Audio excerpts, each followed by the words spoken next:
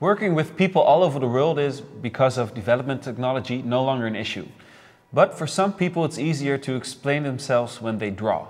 Yeah, that's what Nick thought when he developed Sketch Together. It's a tool to make working together when you're for, for away, far away uh, a little easier. Nick, explain to us what's Sketch Together exactly? Hey guys, uh, Sketch Together is a collaborative whiteboard that effectively supports how businesses work today. Uh, it's fully remote, allowing anybody from anywhere to instantly join a meeting and work in real time. But let's have a look at the screen. It's easier to show you how it works. Um, anybody can join a meeting simply by sharing a link, and everyone can join from their browser on their laptop, iPad, or Android.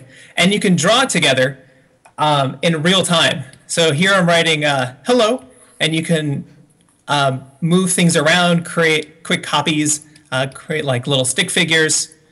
Um, so it's like a big online whiteboard uh, that everyone can share. Uh, a discussion leader can share a sketch or they can share an entire folder of sketches um, so they can archive their discussions in their company.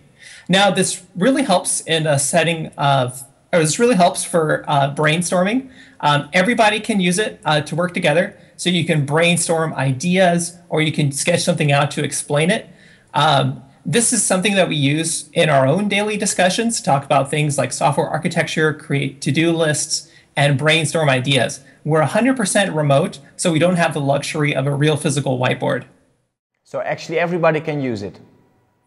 Yeah, uh, you can sign up right now and use it immediately on the website. Uh, you can create a buddy list uh, for yourself, and for new people, it's free.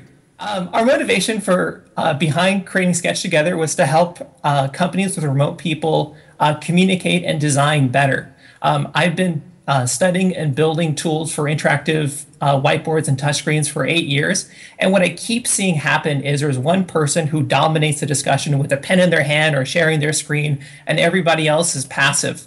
Um, what inspired us uh, to create Sketch Together is we gave an early prototype to a group of stem cell scientists uh, to use in their weekly review meetings. Um, what we started seeing happening when they had it was people were leaving notes on each other's results and contacting people after the meeting. And this wasn't something we were seeing beforehand. Uh, in another case, we had an aerospace engineering group come to us saying that they had people that were really smart, but were just too timid to uh, pipe up during discussions.